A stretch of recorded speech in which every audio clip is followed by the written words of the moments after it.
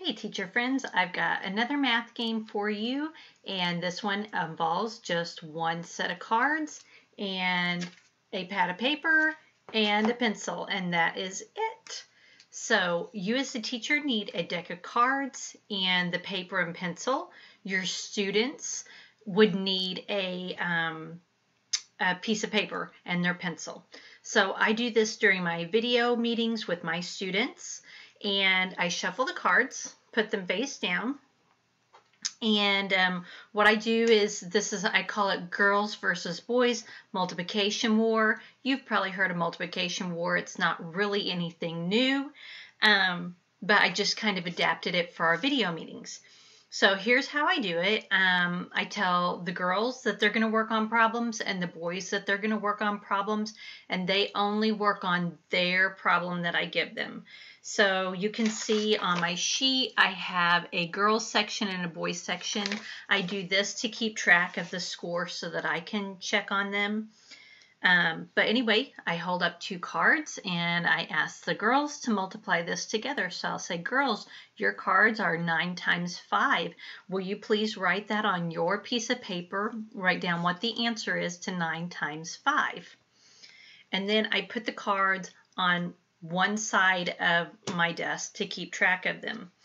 And then I ask the boys to multiply the next two cards. And I say, boys, your two cards are 9 times 4. Multiply those two together and write down the answer on your piece of paper. And I give them a little bit of time to think about it. Now notice I put the boys' cards on the other side of the table so that I can keep track of the girls and the boys' cards because I come back and revisit them. Girls, your next set of cards are a jack times a 2. Now, I made jacks 10, uh, uh, queens 11, and kings 12, but you make them any point that you want, teachers. So girls, yours is 10 times 2. Write that answer down and stack it on top of the other number like a tall tower. Boys, your card is, sorry, 9 times 8. Boys, write down what the answer is to 9 times 8. And then we do one more round of girls and boys. Girls, yours is 6 times 7. Write down that, going a little faster than I would with them. And boys, yours is 12 times 1. Write down what the answer is to 12 times 1, boys. Now, I did not write everything down, but they would the girls would be writing down their answers and sorry, these are not the answers. This is from a previous game. But the first round, they would write down their answer here, second round and third round, and then they're going to add them all up. Before I have them add up, because I tell my kids to stack them in a tower, that's how I always refer to it, I go back over them with my class before I have them add them together. So I'll go over the girls first. So I'll say, girls, yours was 9 times 5. Girls, what'd you get for 9 times 5? And I go ahead and ask, I get some, you know, different answers and I get some that are right, but hopefully they, and I say, yep, that's right, 45. Good job, ladies. Girls, your next problem was 10 times 2. What did you get for 10 times 2? And I'll get different answers, but hopefully most of them are correct. Girls, good job. That was 20. Check your answer on your paper because you need to have the right answer. Do you have 20?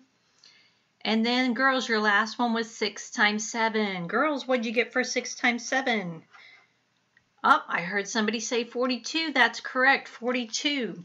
Now, girls, I need you to take your three numbers that you got for your answers, 45, 20, and 42, and I need you to stack them up and add them together.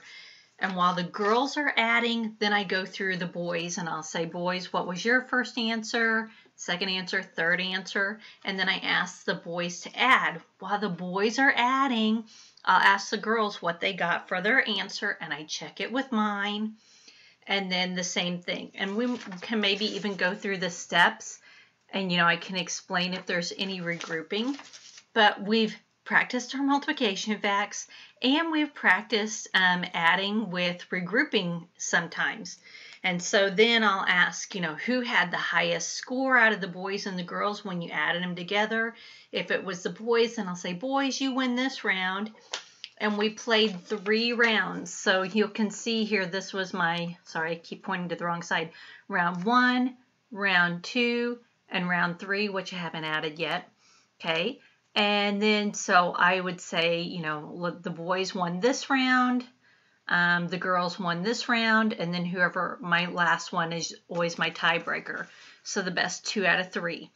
And um, and then also one of my kids said, hey, let's find out who got the biggest score overall. And so then my girls would add 80 plus, sorry, again, wrong side, 80 plus 133, and then whatever this was, and they would add those three up. So I'm just getting more opportunities to practice those math with a game involved inside. So everybody, good job.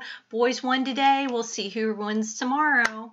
So anyway, I hope that gives you a good idea of a new idea to do during your video meetings because I know we're all desperate for new ideas to keep our kids engaged. So the I am Amber from TGIF. So goodbye.